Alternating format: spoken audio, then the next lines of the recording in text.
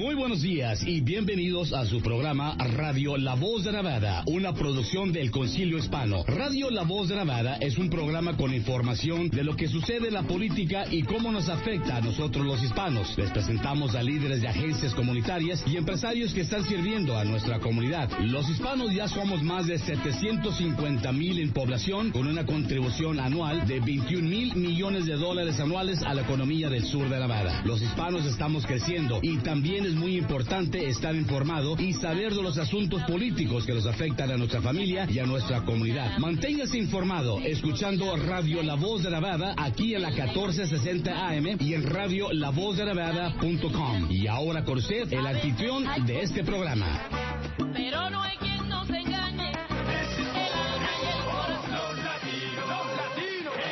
Amigos, muy buenos días tengan todos ustedes. Gracias por acompañarnos. Un servidor Fermín Ramírez aquí como todos los martes a las ocho y media hasta las diez de la mañana. Hoy parece que nuestros amigos de nueve y media a diez eh, van a andar ocupados y bueno, vamos a estar aquí tratando de dar lo mejor de nosotros mismos. Gracias a Herbert Castro que está siempre atento y hoy no, no veo el café, pero a pesar de que el programa se llama Cafeteando con Fermín, lo importante es cafetear con nuestros queridos amigos que están deseosos de saber qué está pasando aquí en Las Vegas.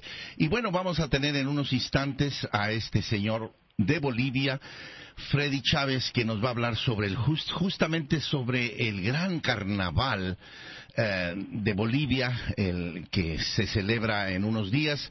De eso y más tarde vamos a tener a una dama desde Puebla, Mónica, la señora Mónica, que nos va a hablar sobre este evento del día 6 de mayo en el auditorio de la Cienciología donde pues los poblanos van a estar de manteles largos con un gran desfile de, de trajes bellísimos y de eso vamos a hablar. Pero mientras tanto ya tenemos aquí en la línea a nuestro querido amigo boliviano, Freddy Chávez. Muy buenos días, Freddy. ¿Cómo amaneciste? Buenos días, don Fermín. Qué gusto de estar nuevamente con usted y qué mejor que en la radio La Voz de Nevada con su programa Cafeteando con Fermín. Lo único que faltó el café, pero bueno, Eh, pues faltó este, el té, pero bueno, llame por un té. un, un té también. Oye, Freddy, este, anoche, ¿por qué no empezamos por comentar que ya que te tengo aquí y que tú estuviste en el evento ayer en el City Hall de North Las Vegas, eh, bre- brevemente, eh, gracias a ese evento pues nos volvimos a reunir y gracias a eso vamos a, hablar más tarde sobre lo del carnaval. Cuéntanos, ¿qué te pareció el evento que eh, sucedió el día de ayer celebrando eh, al gran héroe de México, Emiliano Zapata. ¿Cómo es que fuiste ahí? Cuéntanos. Pues para mí pues es un honor ya que pues nosotros de alguna manera eh, pues estamos no pues, participando y, y, y qué mejor con la comunidad que es más grande de aquí de, de, Nevada y de Estados Unidos que es la comunidad mexicana no como boliviano pues para nosotros es un honor pues estar en esos eventos que me- eh, de Emiliano Zapata que es lo grande que hay de, de México no y pues yo he tenido la oportunidad de estar con el señor eh, Pablo Antonio Castro Zavala ya que en el 2017 si no me equivoco tuvimos pues eh, eh, trabajamos juntos para poder traer a la familia de Zapata cuando trajeron el busto del Zapata acá a Las Vegas. En ¿Ya? 2019, creo yo. 19, perdón. 19, sí. Sí. Ya, entonces este año eh, pues ah, trabajamos juntos, nosotros mandamos la invitación a migración para que puedan eh, venir con la visa de los familiares de Zapata, ¿no? Eh, la- eh, se mandó como para que participen en el carnaval y a la vez se aprovechaba para que esté presente con el busto de de, de, eh, de sus familiares, ¿no? Y gracias a Dios tuvimos la dicha que nos aprobaron la visa, pues y vinieron todos ellos y pudimos pudieron ellos estar en el Carnaval Internacional Mardi Gras Bolivia une al mundo y a la vez estar en la, en la presencia de la, del busto de, de su eh, familiar, ¿no? El señor Zapata. Claro, oye, pero te diría una cosa, estos tiempos no son los que hoy estamos viviendo. Hace, en el 19 no teníamos la crisis de Ciudad Juárez y las caravanas, pero de, de peregrinos que se vienen caminando desde Venezuela. O, o sea, la estamos viviendo tiempos muy distintos, ¿no crees? Sí, claro que sí, eh, eh, todo ha cambiado, todo ha cambiado.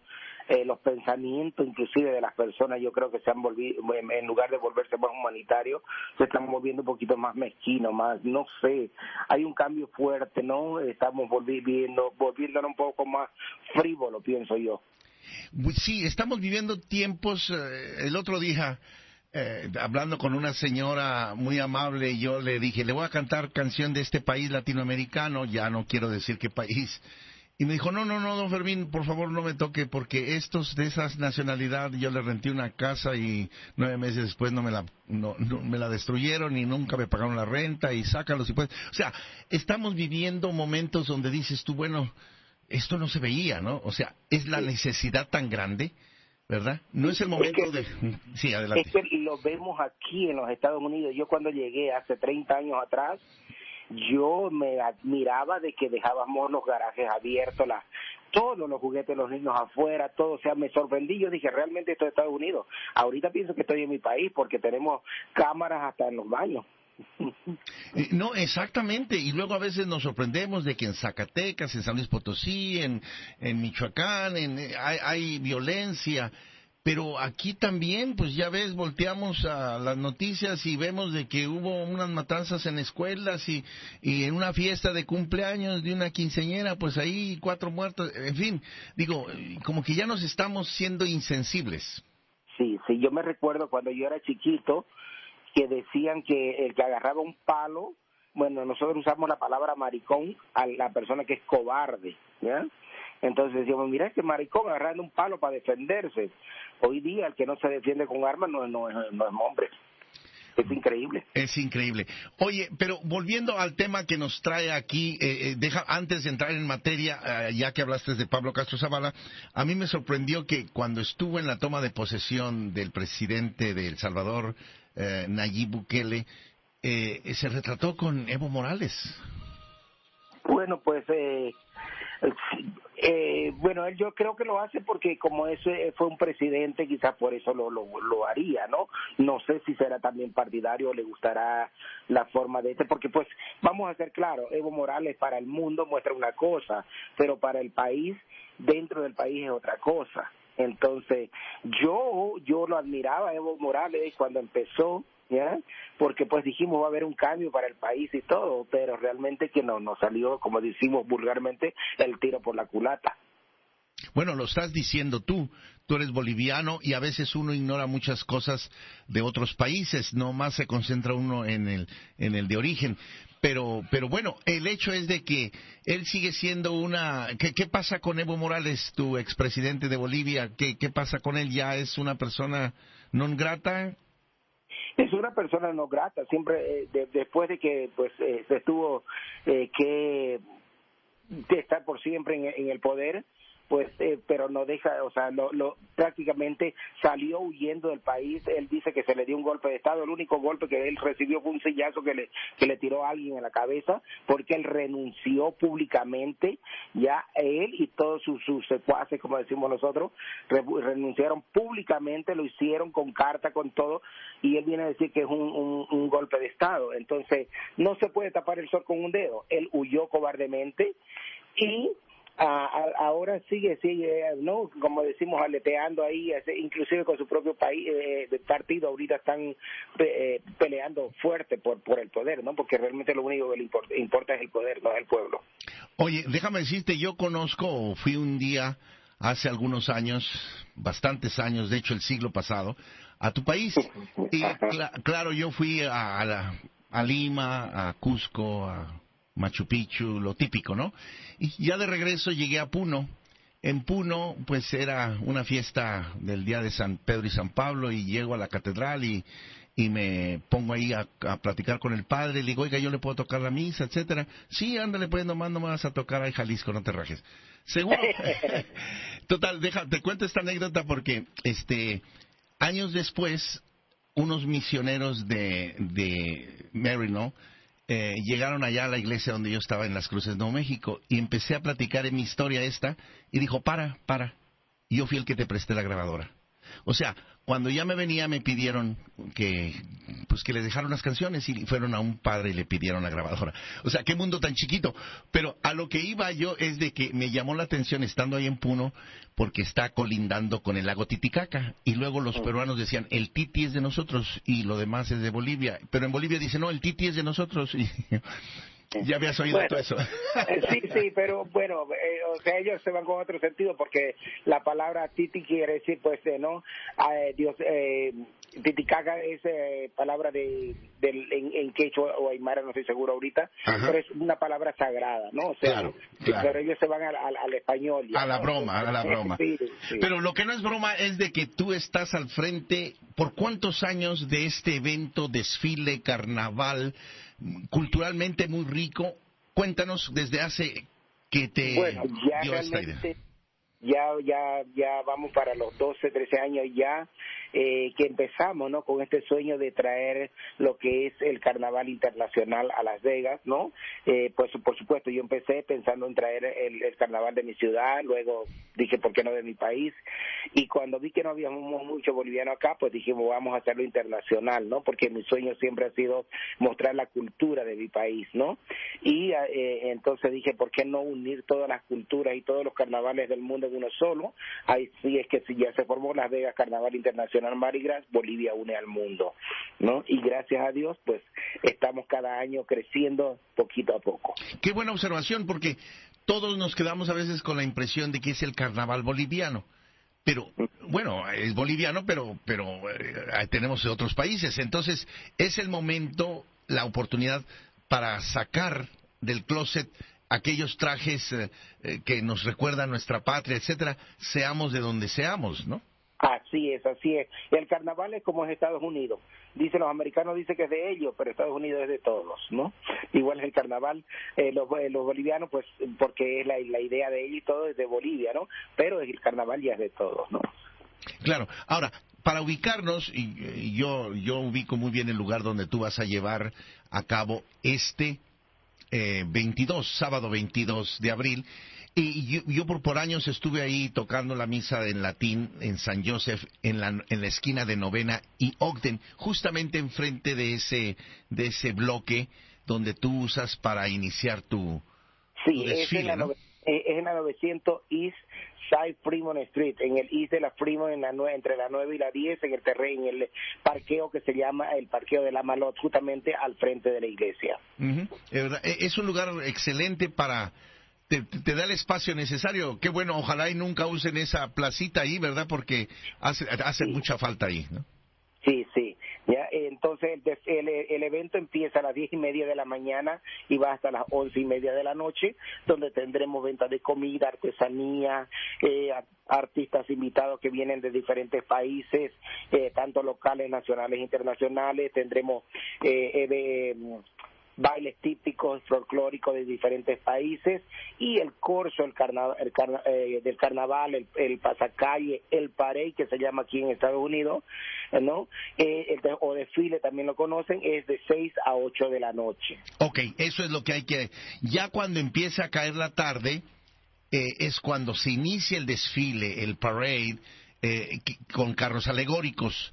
Lo último relacionado a esto fue, pero en una forma muy sencilla, fue lo que sucedió el año pasado en el Freedom Park con motivo del 20 de noviembre o del 16 de septiembre, no recuerdo, y este se hace pero muy pequeño dentro del parque Freedom Park.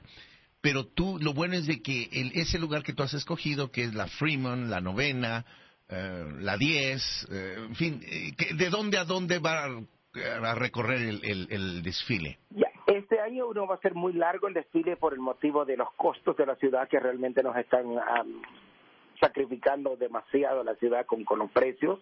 Entonces va a ser desde la Maryland hasta la calle justamente 9 y ahí vamos a entrar directo al, al, al parqueo, a la Malot. Ya antes llegábamos pues hasta el Container Park, pero como le digo, la ciudad está muy muy brava con los precios porque la gente piensa que la ciudad nos apoya económicamente o nos da esto, nos da realmente la, la ciudad no nos da nada, absolutamente nada, todo todo se paga, todo, todo, todo se paga.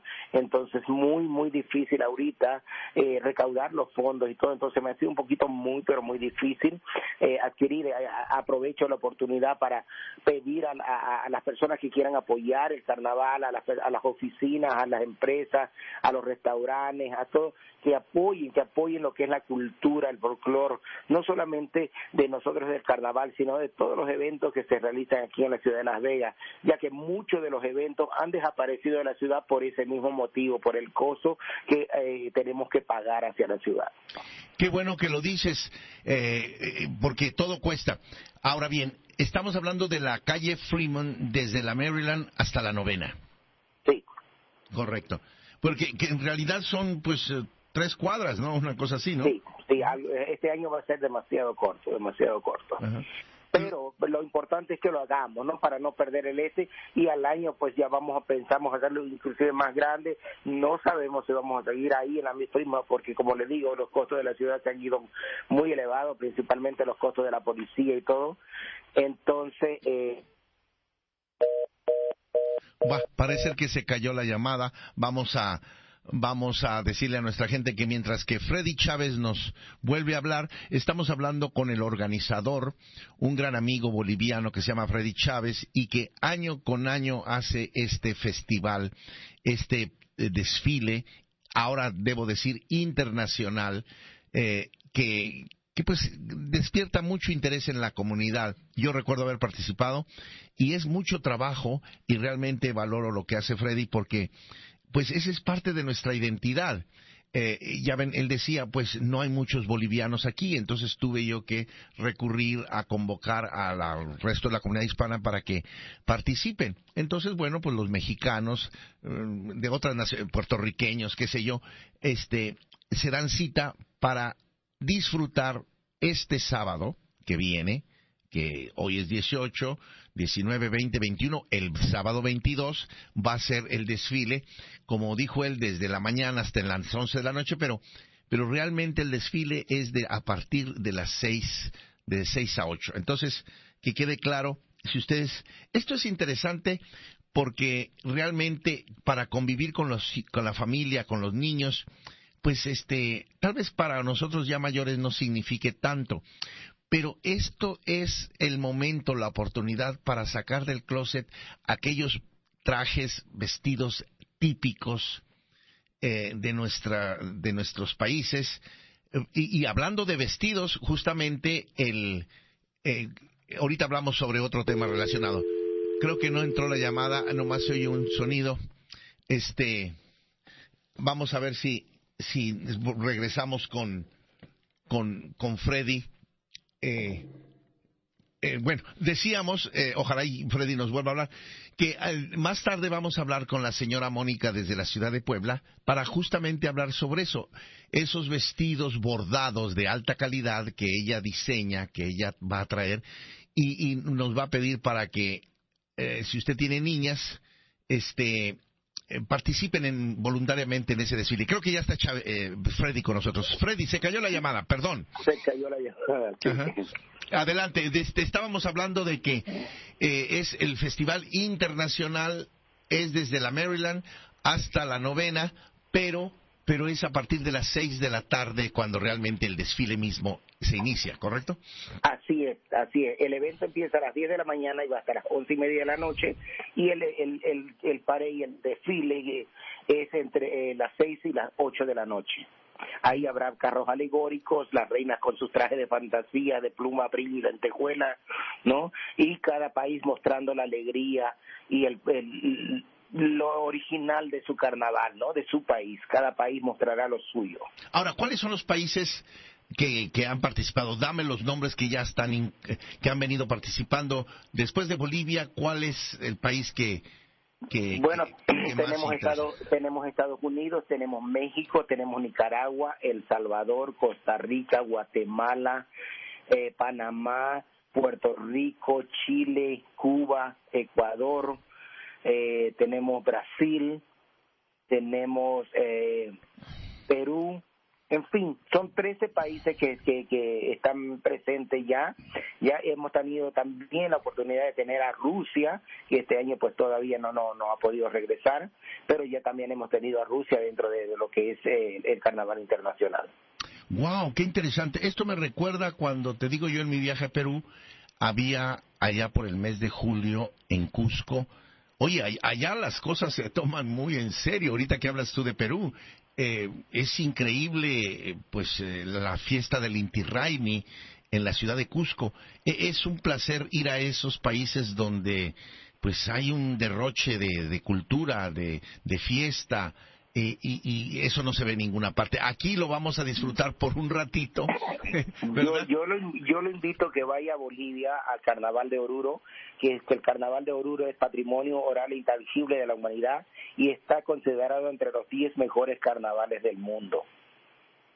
No, no, no lo dudo, no lo dudo. Lo que pasa es la ignorancia de uno de que a veces nomás tiene una, una imagen y ya se queda, pero, pero Bolivia tiene una gran tradición en ese aspecto. Ahora, eh, o a veces uno nomás piensa en La Paz. Cuando estuve en La Paz, que por cierto, pues eh, es muy interesante porque la, la ciudad capital, La Paz, está en un hoyo, ¿no? O sea... Ah, ya. Sí, eh, así es, es. Se dice que es la boca de un volcán, ¿no? Y es la capital de la, de la capital eh, administrativa de Bolivia, porque la capital de la República de Bolivia es Sucre. Oh, ok. Bueno, es la ciudad más importante en número, ¿verdad? en población. La Paz. Ahorita la, ciudad más importante en, población, eh, gracias, en este momento en mi ciudad se llama Santa Cruz de la Sierra. Oh. En segundo lugar viene la, el Alto de La Paz y en tercer lugar ya viene La Paz. Ahora, cuéntanos, ya que estás hablando de tu pueblo, de tu país, que tan orgulloso estás, eh, ¿qué me hablas tú del actual presidente de Bolivia? ¿Qué le digo? Pues que está siguiendo los pasos de Evo Morales, ¿no? Entonces, no, no tenemos ahorita democracia, ¿no? Se está peleando todavía ahorita por la democracia, y, principalmente en mi ciudad, de Santa Cruz de la Sierra, es la que más está oponiéndose porque pues quiere ver un país libre como el que siempre lo tuvimos, ¿no? Entonces, estamos un poquito, eh, prácticamente, hemos estado casi a punto de tener una guerra civil entre los bolivianos, ¿no? Freddy, Freddy eh, este, te hablo más al rato, a ver si hay espacio en la última media hora. Pero de todos modos terminamos por ahorita por lo pronto y, te agradezco tu participación. Amigos, no se vayan, ya regresamos. Gracias por escuchar a Radio La Voz de Nevada, el programa que mantiene a nuestra comunidad bien informada. Radio La Voz de Nevada es una producción del Concilio Hispano Media Group. Regresamos después de esos anuncios de nuestros patrocinadores usted o alguien que conoce enfrenta cargos criminales? No arriesgue su futuro. Necesitas un abogado de defensa criminal con experiencia a su lado. Los abogados de Las Vegas Lawyers entienden las complejidades del sistema. Nuestro equipo de expertos legales defienden sus derechos y logran el mejor resultado posible para su caso. Llámenos hoy 702 749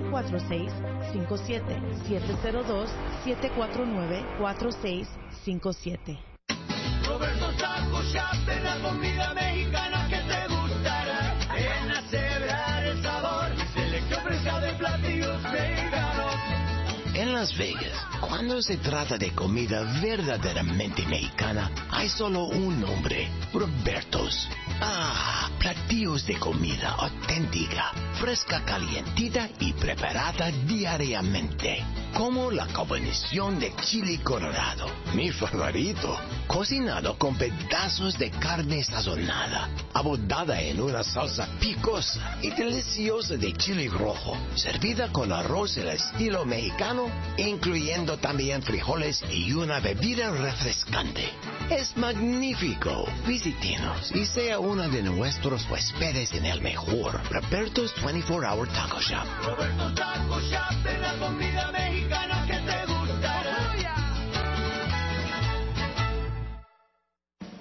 Manténgase informado. Todos los martes a partir de las 8.30 am, inicie su mañana con el pie derecho, con noticias locales, nacionales y de nuestros países de Latinoamérica. Estar informado es su derecho. Comentando las noticias, ese es mi único fin. Cafeteando las noticias. Cafeteando con Fermín. Cafeteando la noticia, cafeteando con Fermín. ¿Tienes problemas migratorios, de vivienda, salud o laborales? Make the Road Nevada es una organización que busca empoderar, educar e informar a la comunidad latina sobre todos estos temas. Porque nosotros también tenemos derechos. Contáctalos en redes sociales donde están como Make the Road NB o ingresa a su página web maketheroadnb.org. ¿Usted o alguien que conoce enfrenta cargos criminales?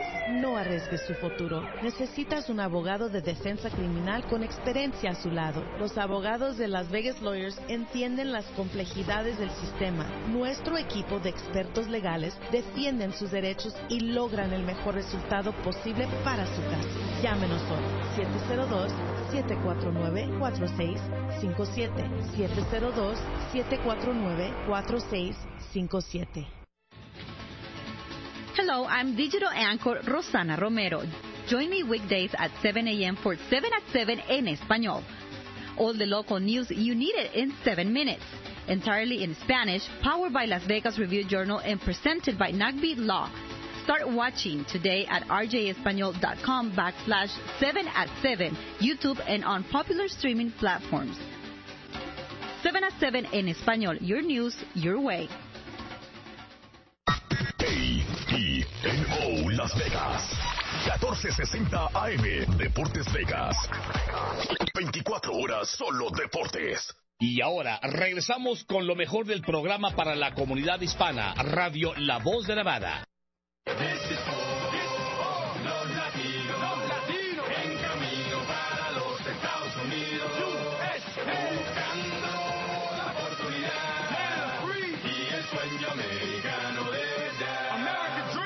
Amigos, regresamos nuevamente un servidor Fermín Ramírez. Eh, estamos aquí en los estudios de la 1460. Vamos a tratar de, ah, comunicarnos con Puebla, eh, este, eh, para hablar sobre, pues, lo interesante que, que es- está sucediendo ahorita. Hay mucho interés en la comunidad mexicana de celebrar, como se hace cada año, pues las fiestas del 5 de mayo. De hecho, son las más importantes en el calendario, ya que mucha gente, inclusive que ignora detalles, hasta creen que es la independencia de México. Por supuesto que no lo es. Es la famosa batalla de Puebla, donde Puebla eh, fue el escenario de esa batalla entre eh, el ejército más poderoso de aquel entonces, el ejército francés. Eh, vamos a tratar de, de, no sé, algo está pasando. De un momento a otro va a hablar la señora Mónica, que está interesada en traer, repito, vestidos bordados muy, muy artísticamente, muy bonitos, eh, que iban a necesitar niñas, eh, jovencitas, que modelen esos vestidos y el evento va a ser en este auditorio del Scientology, ahí en la calle Emerson. Más o menos para que tengamos una idea, es entre la calle Easter y la de Serín, así a grandes rasgos. Y, y bueno, eh, es muy interesante porque estas fiestas pueden llegar muy, muy, muy bien con la comunidad hispana es para estar orgullosos eh, de, de nuestras raíces. Eh, conclusión, eh, de eso vamos a hablar. Debo recordarles que va a haber varios eventos eh, ahora para lo del 5 de mayo. Empecemos con el primero de mayo, que va a ser en el Sign Welcome to Las Vegas, que todo el mundo conocemos en Las Vegas Boulevard, el día primero de mayo, que es lunes. A la partir de las 5 de la tarde va a haber ahí, se van a encender las luces tricolores, verde, blanco y rojo, que nos hace el favor, las auto- nos hacen el favor las autoridades del condado Clark. Eh, va a haber personalidades ahí de, de el Clark County y eso es el, el lunes primero de mayo. Después, en el edificio del condado de Clark va a haber una exhibición muy interesante el día jueves 4 de mayo.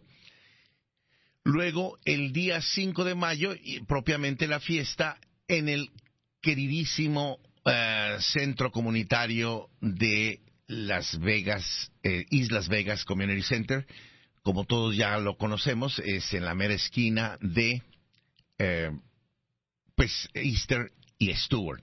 Ahí es donde vamos a tener, eh, dijéramos, la, la festividad. Y, y, y hay que, hay, si usted no ha pasado por ahí, por el, por el Islas Vegas Community Center, lo exhorto. Eh, me está diciendo Pablo, eh, tú que no entra la llamada, no sé por qué será. Este, le, le mandaré otro teléfono, ¿verdad? Para que hable. Bueno, es el, va a ser lo mismo, ¿no? Estamos teniendo problemas con, con este, con la señora. Lo que puedo recurrir es a hablarle yo directamente aquí, no sé qué, qué pudiera ser. Eh, estamos ah, tratando de hablar con, con la señora Mónica, que es la que, pues que es la que sabe los detalles. Eh, aquí, a grandes rasgos, se trata de, de eso, de, de eh, tratar de, de, de fuentes fidedignas que nos dé detalles.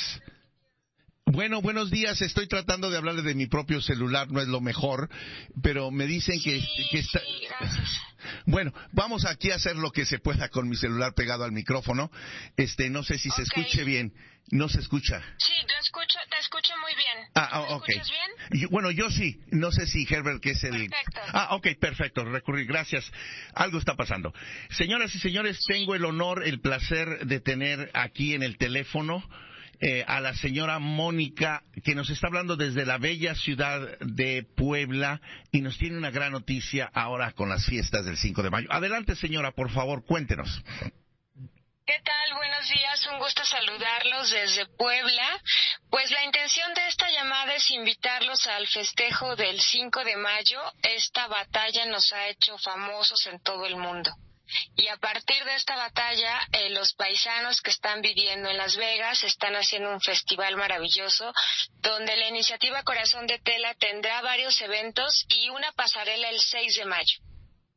Correcto, correcto. Ahora, debo decirles que va a ser el sábado 6 en un conocidísimo auditorio súper elegante que es el Scientology de la cienciología.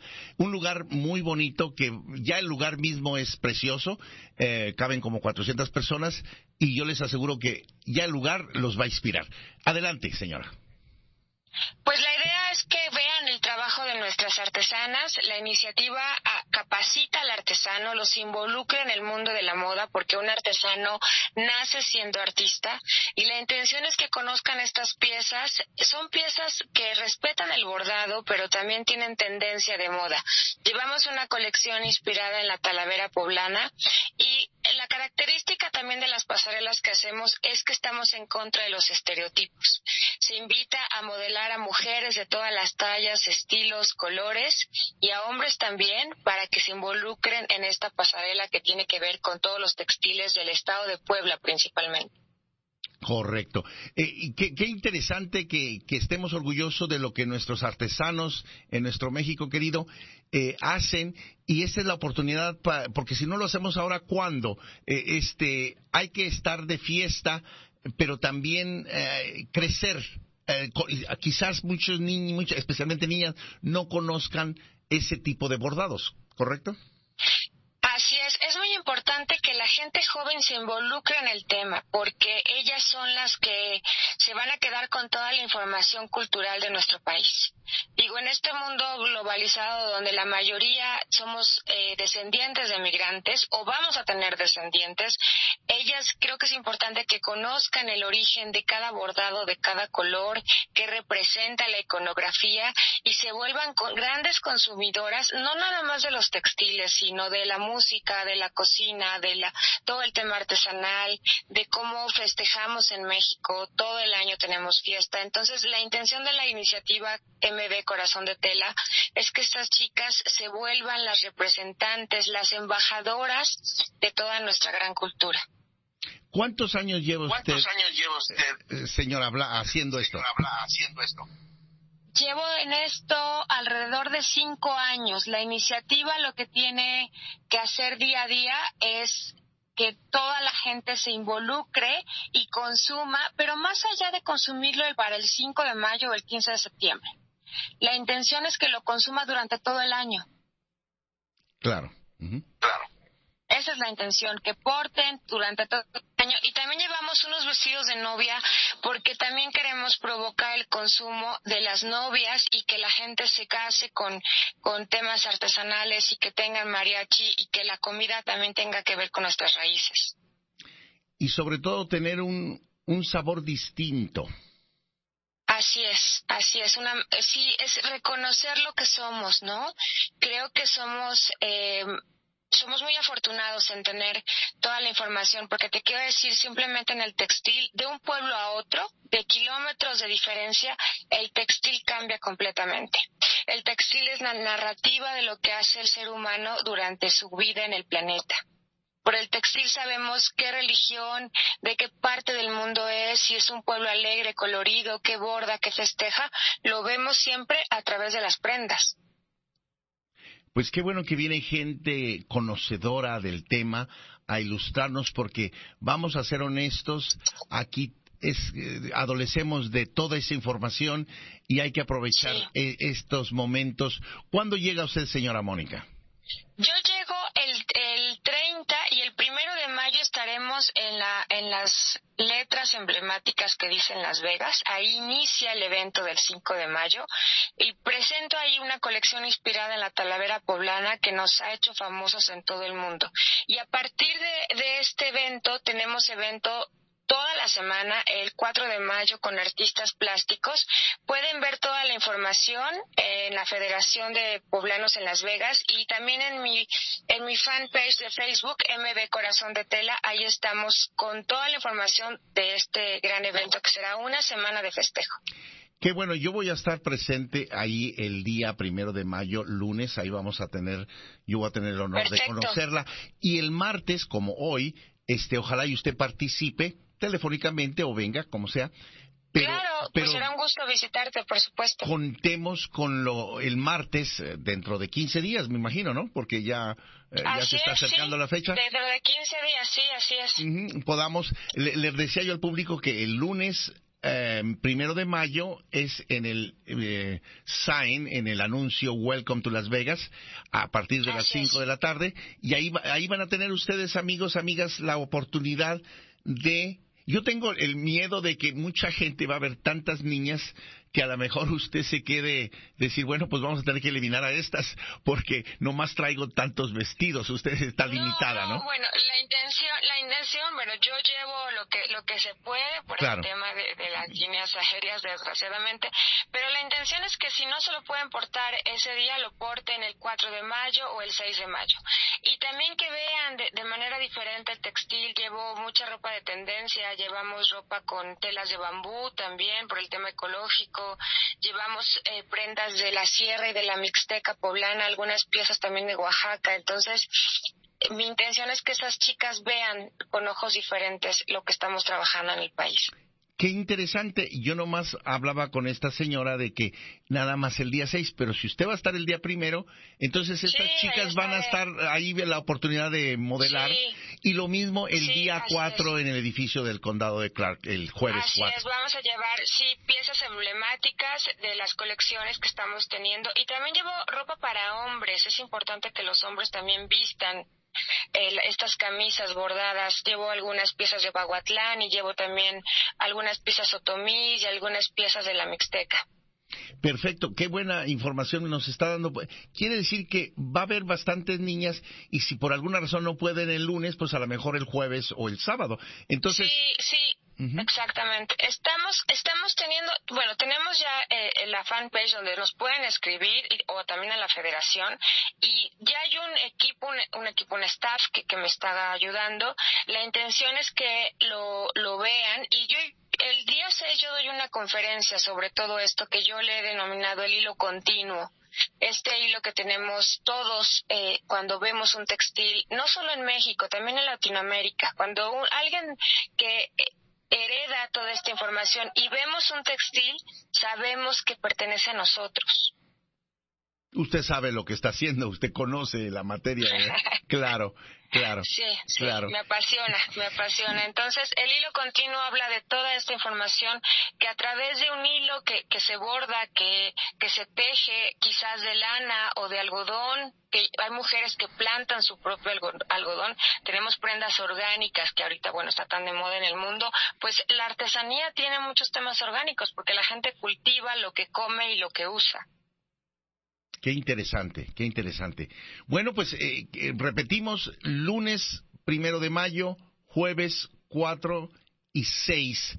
Tres oportunidades Así es. que si tiene usted. Ahora, hablamos normalmente de jovencitas. ¿De qué edades? Y también por ahí mencionó usted o alguien, señoras mayores en un momento dado, no sé. Ah, claro, qué bueno que lo mencionas. Sí, en la pasarela se están invitando y ya tengo una lista donde están mujeres. Mujeres de qué edad, de la que quieran decir Ajá. su edad, desde los 20, 30, 40, 50. En mis pasarelas en México pueden ver la fanpage. Eh, tengo personas mayores de, de talla y de edad, porque como te comento, estamos en contra de los estereotipos. Entonces, ¿quién puede modelar? Quien quiera ponerse un casquemel o un rebozo. Esa es la persona indicada. Se me está ocurriendo, Herbert, que me estás escuchando de que una alumna que tengo, oigan esto, de 90 años. Voy a decirle, oiga. Ay, bueno, sería un honor, por favor, sería un honor tenerla con nosotros porque eh, el textil necesita representantes, necesita mujeres que se sientan orgullosas que los portemos. Entonces, eh, quien levante la mano está invitadísima a la pasarela. Qué bueno. Ah, Ahora cuéntenos, este, ¿cómo se celebra en Puebla el 5 de mayo? Porque ustedes son la cuna. Eh, para los que no conocemos, eh, ¿qué, qué- qué di- esos días, ¿qué sucede allá en El Puebla? origen. Bueno, eh, festejamos la derrota de al ejército francés que llevaba el mando el sobrino de Napoleón, porque mucha gente se, con- se confunde que era Napoleón Bonaparte, no, era Napoleón II. Él en un cerro, en dos cerros, los cerros de Loreto y Guadalupe, intentan llegar a la ciudad. Y ese día dicen los historiadores que llueve tanto, tanto, tanto que el francés no puede llegar a- entrar a la ciudad. Esto nos marca definitivamente como poblanos porque hacemos un parteagua en la historia. Y a partir de esto hacemos un gran desfile cívico donde todas las escuelas participan con coches alegóricos. Este desfile es muy eh, cotizado en las escuelas, sobre todo en los centros escolares, porque se visten de gala. Hay es, eh, eh, vestuario exclusivamente para el 5 de mayo. Lo festejamos de esa manera. Regularmente, fíjate, también llueve el 5 de mayo en la tarde. Y la gente entonces va a la feria a comer un mole, a subirse a los juegos y a seguir festejando esa derrota que tuvimos ante el, ante el ejército más poderoso del mundo. Wow, se toma muy en serio el 5 de mayo en Puebla, ¿eh?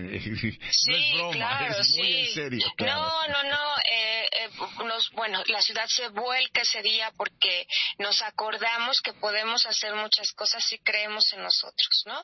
Imagínate que ese día festejamos a unas comunidades de Zacapuastla, que es la sierra, y esas personas se visten todavía como un ejército con pantalón de manta y unos sombreros enormes y unos guaraches eh, de cuero, porque ellos vinieron desde la sierra a participar con el ejército de México. Entonces, cuando ellos caminan por la avenida, bueno, toda la gente les aplaude a, este batallón de Zacapuastla. Qué bonito. Eh, eh, Es una, yo debo decirle que por muchos años el que fuera líder aquí en Las Vegas eh, por décadas, me refiero al señor Eddie Escobedo Sr., en paz descanse, murió en el 2010. En los ochentas y noventas y hasta el 2010 eh, fundó el Comité Patriótico Mexicano, pero lo que lo ca- caracterizó fue justamente el ir a Puebla eh, y eh, tener relaciones eh, con el gobierno de Puebla, etcétera, porque aquí él tenía y todavía el Comité Patriótico Mexicano que él fundó tiene el eh, pues el encargo de hacer la fiesta del 5 de mayo. Sin embargo, ahora son los poblanos los que están pues sacando la casta y decir, pues espera un momento, esto es de nosotros, ¿no? Esto es de nosotros, excuse claro. me, Sí, ¿verdad? sí, Entonces, eh, y digo, y muy bueno, y eso, eso enaltece porque si es de tu raíz, pues, ahora, lo hizo, lo hizo por muchos años, porque yo creo que en, aquellos años pues no había tanta eh, pues tanto interés verdad hay otras cosas prioridades en la vida pero pero ahora estamos muy orgullosos. Inclusive vienen autoridades eh, personalidades eh, del gobierno etcétera eh, de Puebla. Sí, sí, sí, sí, sí, sí, para nosotros es un gran pretexto para festejarnos, ¿no? Recordar que, que este, por ejemplo, lo que te platico de este pequeño batallón de Zacapuazla de indígenas, bajan a, a- a la, a la estepa, a la ciudad, para poder eh, ayudar al ejército mexicano. Entonces, es una gran fiesta donde reconocemos que podemos hacer muchas cosas y de verdad, de verdad lo queremos. Ahora, no cambiando de tema, pero cuando hablamos de Puebla hablamos de una variedad de, de cosas, pero entre ellas hay muchas universidades, hay mucha, muchos americanos, ha- hay una variedad Sí. de cosas. Cuéntenos así brevemente para los que no sabemos. Pues, pues mira, Puebla es una ciudad que por la situación geográfica ha sido el paso a Ciudad de México desde el puerto de Veracruz de la viña de, la Veracruz. Entonces, a partir de, de ser una ciudad que recibe a la gente del norte que viaja al sur y de, de manera contraria, pues tenemos muchísimas universidades. La Universidad Carolino, que es una universidad de las primeras fundadas en, en la- en la- lo que fue la Nueva España, por los jesuitas y creo que esto dio pauta a toda la tradición de escuelas, de universidades públicas, de tecnológicos, de universidades especializadas en medicina, la UAP, por ejemplo, venía mucha gente del extranjero, de Panamá, de Sudamérica, a estudiar medicina en los años 80 y 70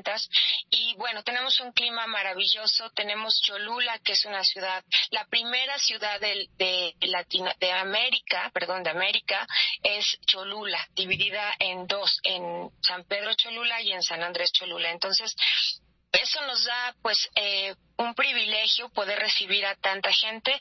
Y bueno, tú lo sabes bien, nuestra comida, que es una comida barroca mezclada con el tema español y con el tema indígena, la cerámica de Talavera. Y bueno, en todo el estado puedes encontrar paisajes diferentes, climas diferentes, pero en el estado en general nos gusta comer bien, somos muy eh, delicados eh, en comer, en tomar un licor de la sierra, una tortilla, en poner bien la mesa. El poblano le gusta ser buen anfitrión.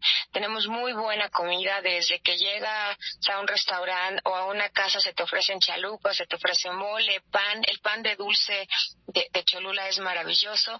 Entonces, tenemos muchísimo que dar. Eh, seguimos teniendo las tradiciones, que eso es bien bonito. La, ahora en Semana Santa tuvimos toda la escena de, la- del tema católico.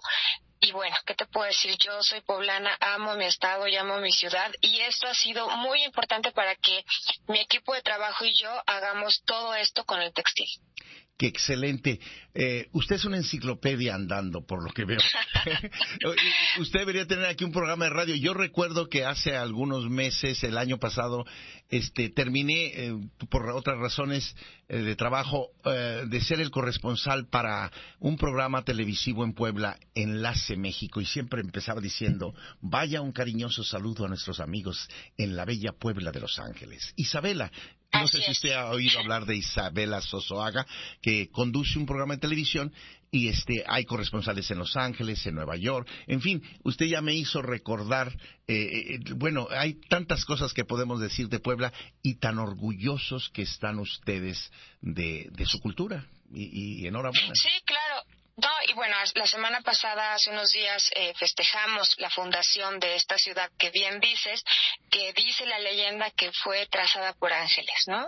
Y entonces había, había una campana que nadie podía subir, la campana María, y de repente dicen que los ángeles la subieron a la torre a la torre de la catedral, ¿no? Y entonces siempre hemos sido cobijados por esas leyendas de, que la ciudad fue, fue hecha y trazada por ángeles y que el rey Carlos V nos dio la cédula como ciudad real. Correcto. Eh, hablando de campanas, yo recuerdo que un el, el, que hizo posible llevar al señor Escobedo por 14 años a Puebla, el señor Pedro García, en paz descanse, eh, me preguntó un día, oye, ¿qué pasó con la campana que el entonces alcalde de Puebla donó? Bueno, a raíz de eso, eh, finalmente nos trajeron un montón de campanas, pero ya no de Puebla, sino de, de de Jalisco y, va a tener usted la oportunidad de ver esa campana en el centro comunitario del este de Las Vegas, justamente donde el 5 de mayo, ¿verdad? Y estamos, usted se va a quedar admirada de que cerraron por seis meses el centro comunitario, gastaron dos y medio millones de dólares y y quedó aquello bellísimo. Le voy a decir, no va a haber un lugar más bonito que el Islas Vegas Community Center para que ustedes ahí el día 5, este, todos juntos celebremos el 5 de mayo. Claro que sí, será un gusto y bueno, acepto la invitación de ir a tu programa, por supuesto. Hay mucho que hablar de, este hermoso estado del país y bueno, en, en mi caso los textiles llevamos piezas, llevamos 50 piezas exclusivas de diseño de autor. En venta también es bien importante que te lo diga porque lo que hace la iniciativa es que les da trabajo a artesanas y les pagamos cinco o seis veces más de lo que se le paga a una artesana tradicional. Y, eh, estamos Estamos en contra de, ese abuso que se les hace a nuestra gente, ¿no? Entonces, trabajamos muchísimo y muy fuerte con nuestros recursos para poderles dar estas, pues esos apapachos a las artesanas de un comercio justo, de un consumo local y de no regateo. Y, y, yo iba a decir que, que, al final de que se acabe todo esto, eh, a lo mejor las personas, las niñas que quieran comprar comprar eh, y quedarse con el vestido lo pueden comprar. vestido lo pueden comprar. Claro, por supuesto, esa es la intención. La iniciativa se quiere regresar con las maletas vacías. Eh, eh, bueno, me hacen aquí una, una, pregunta que si va a traer, que si va a traer dices, ¿qué dices? cosas de Talavera para vender. para vender. No, yo no puedo llevar cosas de Talavera por el tema de que yo manejo textiles. Yo llevo una colección de ropa inspirada en Talavera. Hice esta colección el año pasado con Laura Pardiño, que es parte fundamental de mi taller, y con Judith Gregg, y está inspirada en la Talavera. Y esta colección se llama Niña de Talavera. Bueno, qué interesante. La gente que está escuchando luego habla y eh, hace preguntas. Eso quiere decir que hay interés. Qué bueno que usted está sacando esas dudas y, decir, bueno, ya lo dijo usted, ¿no? Usted se concentra en los bordados, en ese tipo de trabajo. Así es. Y llevamos esta colección en azul y blanco y los maestros de la Talavera ahorita están trabajando en negro, en gris y llevamos estas piezas. Estas piezas. Te quiero eh, presumir que el año pasado la secretaria del Estado de Puebla, Olivia Salomón, usó un vestido de nuestra colección en la Casa Blanca el 5 de mayo. Entonces, bueno, eh, hemos tenido la suerte de que muchas mujeres nos, nos buscan, nos, nos apoyan en usar las prendas y llevo piezas de esta colección, por supuesto. Pues usted está, eh, usted está presumiendo a una señora que se llama Olivia. Yo aquí le voy a presumir a la concejal que se llama Olivia Díaz. Ok, ok, me parece muy bien. Bueno, eh, perfecto, el tiempo se nos acaba. Señora Mónica, muchísimas gracias y estamos en contacto. Ojalá haya oportunidad dentro de ocho días de hacer lo mismo. Sí, yo me veo ahí con ustedes entonces. Un gustazo. Un gustazo. Saludos desde aquí. Hasta luego. Hasta luego. Bye bye. Amigos, como ven, está interesante. No se vayan, ya regresamos. Gracias por escuchar a Radio La Voz de Nevada, el programa que mantiene a nuestra comunidad bien informada. Radio La Voz de Nevada es una producción del Concilio Hispano Media Group. Regresamos después de esos anuncios de nuestros patrocinadores.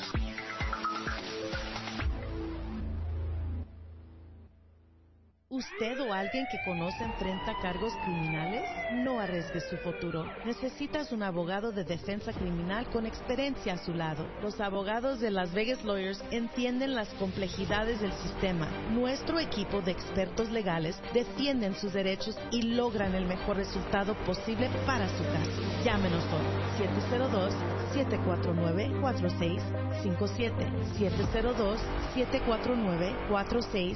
702-749-4657. Thank you. Mi nombre es Marta González. Soy agente broker con licencia en el estado de Nevada y California. Represento a más de 30 compañías de seguros. Mi trabajo es navegar a través de las opciones de seguro y escoger la mejor para usted basado en su salud y su presupuesto. El objetivo es ayudarles a solicitar esa cobertura y trabajar con los aseguradores para que se apruebe, de modo que podamos proteger a su familia. Para más detalles llame a Marta González al 702-637-5194, 702-637-5194.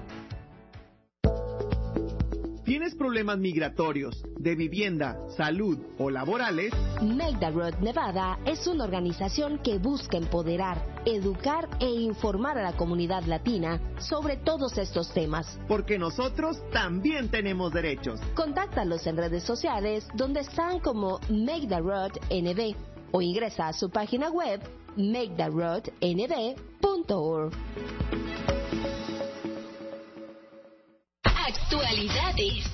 ¿Quieres hacerte ciudadano de Estados Unidos pero no sabes por dónde empezar? ¿Qué tal? Soy José López Zamorano, de la Red Hispana. Lo primero es determinar si eres elegible. Se requiere ser residente legal permanente durante cinco años, o tres, si lo hiciste como cónyuge de un ciudadano de Estados Unidos.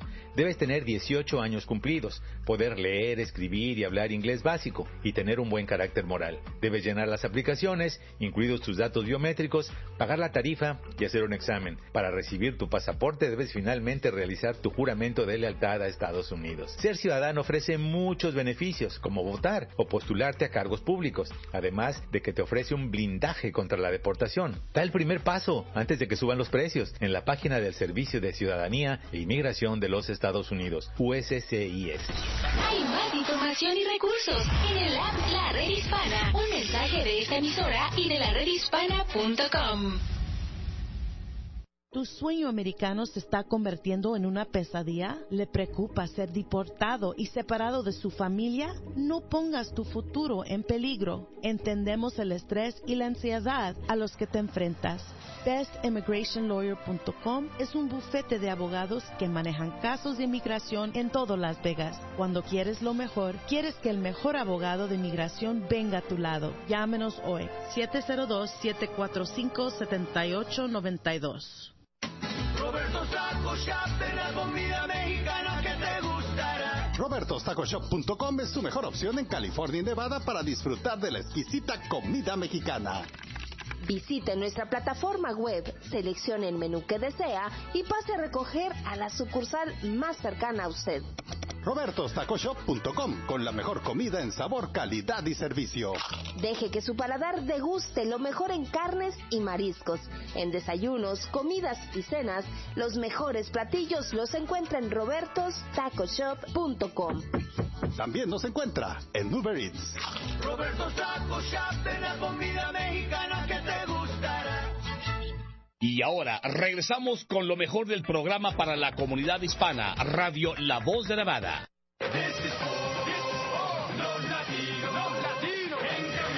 Amigos, regresamos nuevamente, muy interesante. Nos están aquí felicitando por la clase de invitados de lujo que hemos tenido y bueno, la señora Mónica desde la bella ciudad de Puebla de Los Ángeles que acaba de hablar y pues vamos a tener que invitarla nuevamente la próxima semana. Eh, yo quisiera compartirles con ustedes mientras que nos habla el siguiente invitado de que el día de ayer en el City Hall de North Las Vegas eh, decíamos hablando con con Freddy, de que hubo un homenaje al, pues, al gran Emiliano Zapata. Ahí, si ustedes han ido al vestíbulo de City Hall de North Las Vegas, hay un busto de Emiliano Zapata. Por ahí el security me decía que hace poco ya habían retirado otro busto de un poeta nicaragüense. Eh, qué interesante eh, saber eso, pero me llamó la atención, fíjate Herbert, que yo platicando ahí con, con algunos personajes que asistieron, este, se están interesando, hablé con Mimi Quintero, por ejemplo, y le dije, yo quiero que vea usted el busto de Francisco Villa, y si no no lo quieren eh, que lo pongamos en el condado Clark, yo nomás quisiera que se fijara en la calidad artística de esta escultura, de este busto, y por qué no tener a, a César Chávez, por, por llamar algo. Voy de acuerdo que no pongamos héroes mexicanos, ¿no? Pero a gente local de aquí, ¿no? Entonces, yo pienso que aquí mi obligación es fomentar eh, obras artísticamente bellas, pero que quede algo permanente, como yo siempre he dicho. Bueno, si el señor del condado de Clark gastaron cua- cuatro millones de dólares para cambiarle el nombre al aeropuerto internacional de Las Vegas de McCarran a Harry Reid, ¿no crees que sería interesante que tuviéramos un busto del señor Harry Reid y que se quedara en forma permanente? Sí, claro, claro, sería sería eh, complementar eh, el homenaje. El homenaje, ¿no? ¿Verdad? A quien se lo merezca.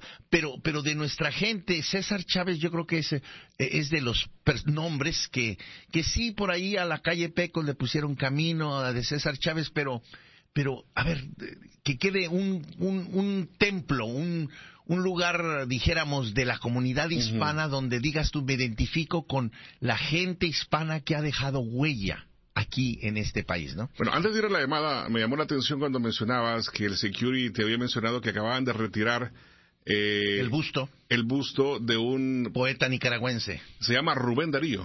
Claro, claro. Bueno, el, el- el security pues nos eh, dijo un poet, Nicaraguan poet. O era, o era, era, era gringo. Era gringo, sí. Entonces, ahorita, ahorita me... Pero, pero dijéramos, es que eso es parte de nuestra historia y tenemos que... Oye, con solo que no lo haya confundido con Da- Daniel Ortega es suficiente. Eh, Mira, todo, todo iba bien, ¿eh? Esta plática ya se desvió, ya tomó otro. No estaba la llamada, pero se volvió a caer. Ah, ok, bueno, vamos a ver si intenta otra vez. eh. Sabes que en nuestra infancia, en nuestra educación en El Salvador, de, en la escuela, eh, pues siempre Rubén Darío fue muy importante en, en el conocimiento de la, de la poesía de, Claro, de claro. Centroamérica. Claro, es parte de la identidad. Eh, Claudia Lars es una poeta salvadoreña que también es de esa época y que es reconocida en esa línea. Y que es también muy muy estudiada pues eh, en la etapa de tu primaria, secundaria, es, es parte de, de eso. Claro, no, y ese que acabamos de estar ahí en el Teatro del Salental allí, yo me tuve que aprender unas poesías, o ya las recordé, eh, caminante, no hay camino, se hace camino al andar, al andar se hace camino y al volver la vista atrás se ve la senda que nunca se ha de volver a pisar.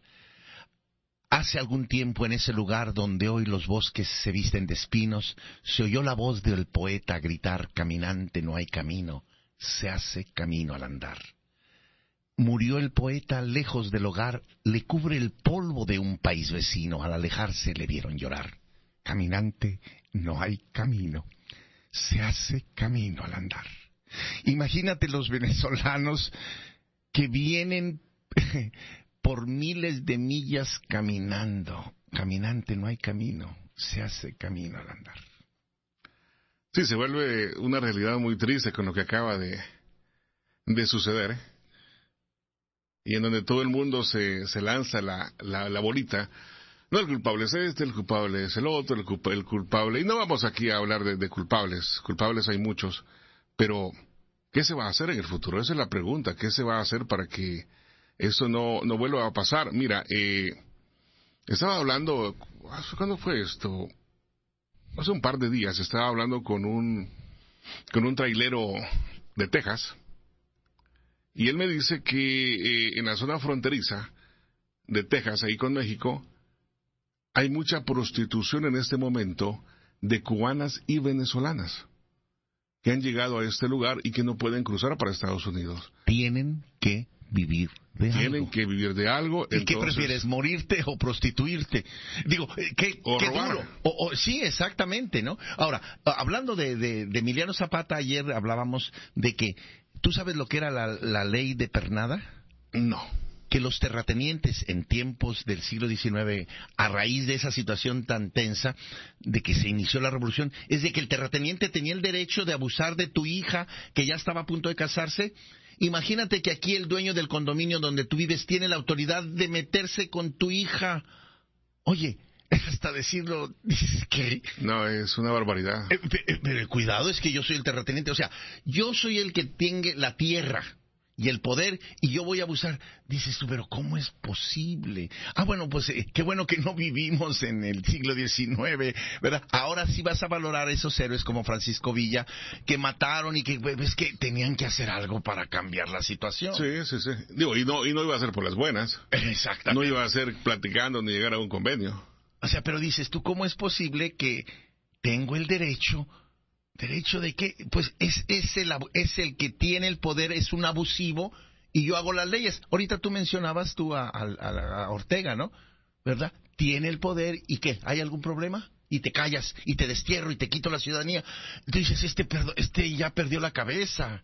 No, desde hace ratos, no. Y su poder es tan, no solo enfermizo, sino que su poder es tan real y tan fuerte que desde hace, ¿qué será? Dos años, no tal vez más, tres años, cuatro años, tiene, y fíjate, y no lo pueden sacar de ahí, tiene, eh, y no es escondido porque todo el mundo sabe que, y él mismo hace videos y hace vida en redes sociales, Mauricio Funes, un expresidente de El Salvador que es reclamado por la justicia por todo lo que se robó. El tipo fue, pide asilo político en Nicaragua y nadie lo puede sacar de Nicaragua, porque ¿quién lo protege?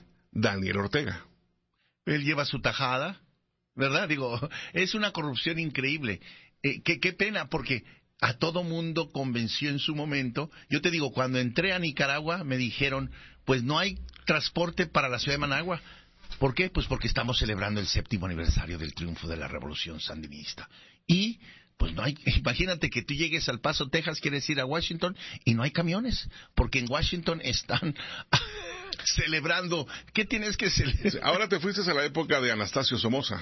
Ah, bueno, este, yo estoy hablando de 1986. Exacto, que fue derrocado eh, por los eh, contras y los sandinistas, que esa es otra historia bien interesante, y es ahí en donde queda como presidente casi desde ese entonces, o, creo que es desde, desde ese entonces, eh, Daniel Ortega.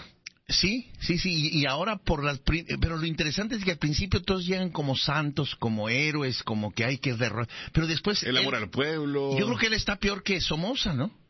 Dijo... Es que no cambió, es que no cambió en nada, no cambió en nada Nicaragua y, y, sí, sí, tal vez sí peor, es que, es que no hubo ningún cambio. Y mira, Nicaragua es el país más grande de Centroamérica. Es un país eh, tan rico en... De costa a costa. En tantas cosas. eh, no creo que no tienen salida al mar. Ellos no, no, tienen salida, al mar en Nicaragua. Eh, pero sí tienen un lago hermoso, de los pocos lagos en el mundo con tiburones blancos. Y ese lago es tan inmenso que es casi del tamaño de El Salvador. Es que lo interesante aquí que es, por eso le dicen el, el ¿cómo le dicen a El Salvador? Eh, es, es, un país pequeño. Oye, bueno, eh, ¿verdad? El diminutivo este del cuento, sí, el pulgarcito. El pulgarcito. Entonces digo, lo que se haga es increíble porque no se trata de cantidad, se trata de calidad. Al final de cuentas, ¿no? No es lo que grandote que seas, sino lo inteligente que seas, al final de cuentas, ¿no? Sí, mira, eh, cuando, bueno, cuando yo vivía en El Salvador, yo sabía que era el pulgarcito de América, el más pequeño de aquí, de allá, pero cuando tú vives ahí no te das cuenta lo pequeño que es territorialmente hablando. ¿Por qué?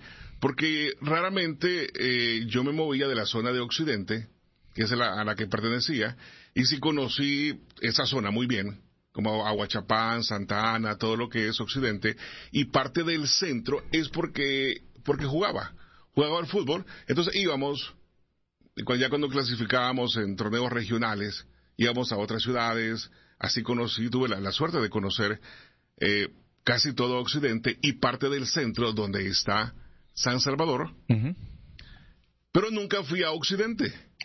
Fíjate. A pesar de que es pequeño. A pesar de que es pequeño, y si tú me preguntas, ¿cuánto te tardas de ir de Sonsonate, por ejemplo, a San Miguel?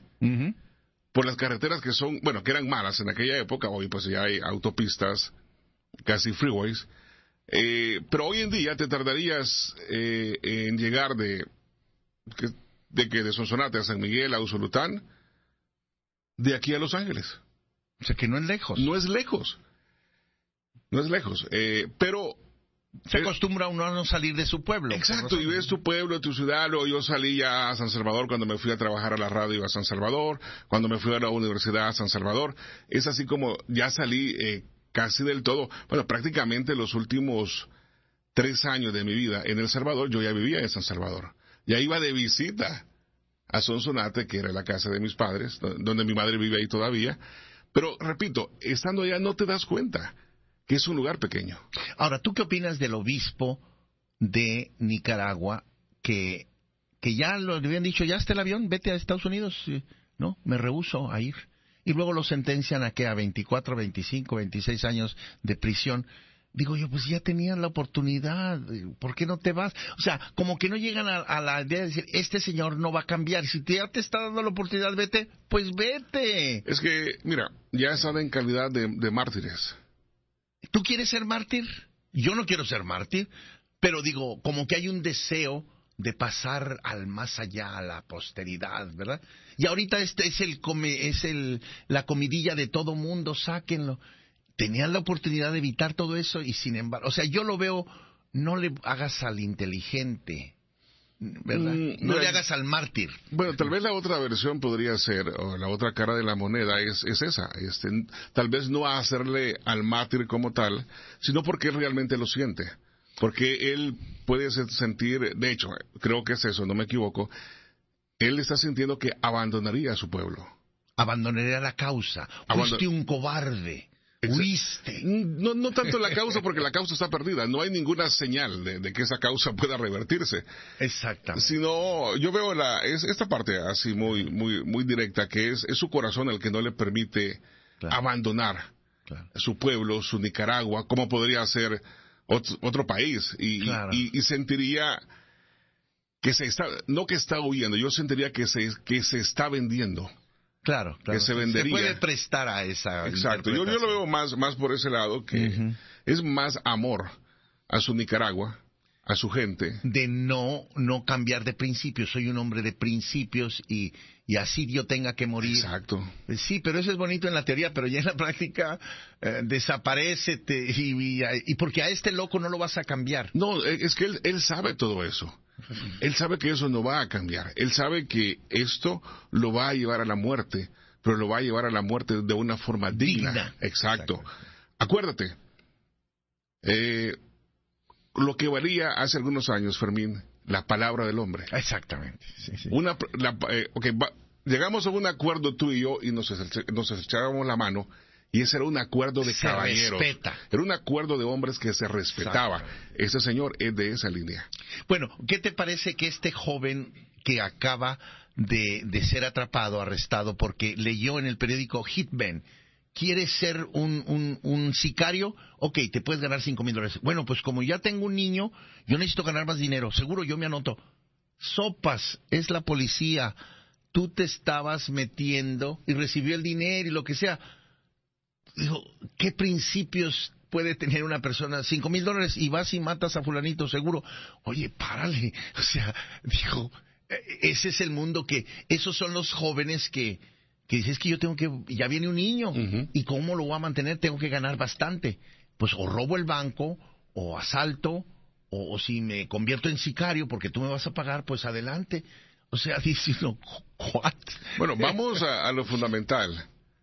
Los principios. Exactamente. Han desaparecido. O sea, el, el temor o respeto a Dios, como tú quieras llamarle, ¿dónde está?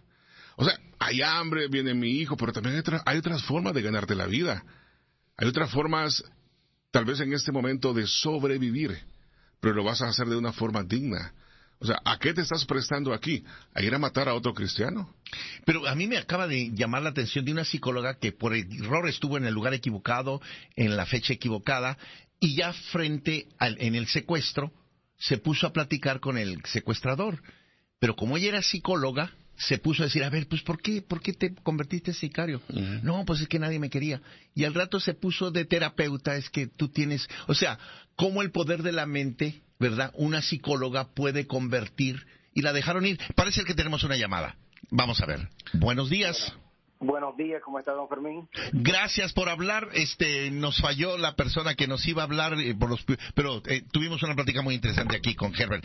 Volvemos, amigos queridos, a, a hablar con Freddy Chávez para concluir eh, y nos repitas otra vez este sábado en dónde, cómo, cuándo y eh, todos los detalles, por favor, Así del es, festival. El Carnaval Internacional Las Vegas Marigras, Bolivia une al mundo, es el sábado 22 de abril a partir de las 10 de la mañana hasta las 11 y media de la noche. El corso, el desfile, el parey, entre las 6 y las 8 de la noche, donde habrán carros alegóricos, reinas con sus trajes de fantasía, brillo y plumas y lentejuelas, y habrán artistas invitados, grupos folclóricos, comida, artesanía, en fin, un día maravilloso de vivir ahí en la Fremont Street, entre la 9 y la 10 de la Fremont. Excelente. Eh, Entonces, eh, eh, vamos a decir, el desfile mismo empieza a las 6, de 6 a 8. Así es. Porque a veces ocho la gente no tiene el tiempo nada más. Lo que más les llama la atención quizás disfrutar de ver el desfile, ¿no? Que es lo más Así atractivo. es, Así es, de 6 a 8 de la noche es el desfile donde estarán presentes todos los países mostrando su cultura, su carnaval, su folclore. Claro, claro. Ahorita estábamos hablando con Herbert sobre los eh, gobernantes en Centroamérica eh, y para el caso, eh, este, yo quisiera que me dieras tu opinión, no hubo tiempo, sobre lo que está pasando en Perú, que está muy cerca, a- a- tú sabes, a, a tu país, Bolivia, pero ¿cuál es tu opinión? A lo mejor me voy a volver aquí de politólogo, pero ¿cuál es tu opinión de lo que está pasando recientemente en Perú? Mire, no estoy muy, muy informado realmente ahorita con lo que está pasando con Perú. O sea, supe de que estaba eh, Evo Morales queriendo invadir inclusive lo que es ah, una parte de Perú para que se vuelvan eh, prácticamente comunistas y todo, pero no me he empapado realmente porque bastante sobra con, con mi país. Claro, no, bueno, no, no es Evo Morales, sino este, el, el, el presidente legítimamente constituido, indígena, quería dar un golpe de Estado, disolver al Congreso y entonces le dijeron, para, para, aquí no se puede hacer eso, lo metieron a la cárcel y López Obrador en México le dio eh, asilo a la familia de él. En eso, fin, eso es lo triste, ¿no? Que está haciendo López Obrador, dando dando eh, asilo político a asesinos, violadores y de todo, porque vamos a ver, eh, mire, Evo Morales es una persona que tiene hijos en cada uno de los departamentos de Bolivia, en cada uno de los estados, con chicas menores de edad inclusive. Wow, wow, oye, pero no te, no, que no quiero que te metas en problemas. Pero, no es problema, todo el mundo lo sabe, en Bolivia todo el mundo lo sabe y todo lo que pasa es que afuera de Bolivia eso no se habla, ¿me entiendes? Claro, tenemos una imagen lejana de este personaje, pero bueno, estamos viviendo momentos difíciles. eh, eh, ojalá y no no llegue a, no- porque eso lamentablemente es contagioso, como que eh, las ideas hay un efecto dominó. No sé si te fijas, hay una una balacera en una escuela y al ratito después como que alguien Así es, agarra la idea. Ahora hasta en los bancos hay balaceras. Así es, mire, yo yo miré, un, eh, estuve leyendo un, un libro en una que medio recuerdo, no me recuerdo el título ahorita ni el autor, donde decían que en ese libro era de 1900, si no me equivoco, 59, donde decía que todo todo el país de, de, lo que es eh, de eh, ¿cómo se llama? Eh, de Estados Unidos a para abajo, ¿no? Centro y Sud- Sudamérica se iban a volver comunistas ya que los únicos países que iban a sobrevivir al comunismo, que iban a batallar muy fuerte, iban a sobrevivir al comunismo, era Estados Unidos y Argentina, porque Argentina iba a estar un tiempo comunista y después se iba a convertir, y los únicos países que iban a quedar no comunistas era Estados Unidos y Argentina, y luego poco a poco iba a ir otra vez volviendo a la a normalidad, pero se dice, según aquella aquello que leí, que todos iban a ser, y por lo que veo vamos camino a eso. Ojalá y no, ¿verdad? Pero bueno, qué bueno. Volvamos a repetir ya para despedirnos. Este sábado, eh, para las personas que acaban de sintonizarnos, estamos hablando con el gran boliviano Freddy Chávez. Por, pas- por los pasados 12 años, por lo menos, has organizado este festival internacional, este desfile en la calle Fremont, entre la Maryland y la calle Novena, este sábado de 6 de la tarde a 8, ¿correcto? Así es.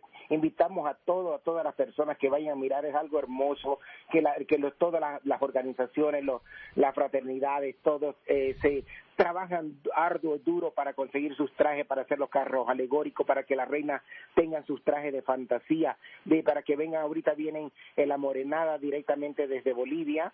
¿Aló? Sí, sí, te escucho. Ya, la, la morenada directamente desde Bolivia y pues es, es- es duro, ¿no? Que, que vengan y hagan un viaje tan largo y de repente no haya ese público que los aplaude, que es el mejor eh, eh, eh, pago para ellos, ¿no? Los aplausos de la gente. ¿Qué es la morenada para aquellos que no sabemos? La morenada es un baile que es eh, eh, típico de Bolivia, donde estamos representando lo que es el sufrimiento de la esclavitud de los negros en el tiempo cuando llegaron los españoles a esclavizar a- a- en nuestro país.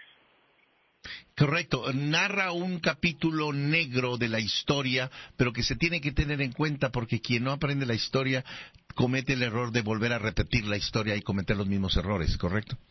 Así es, así es.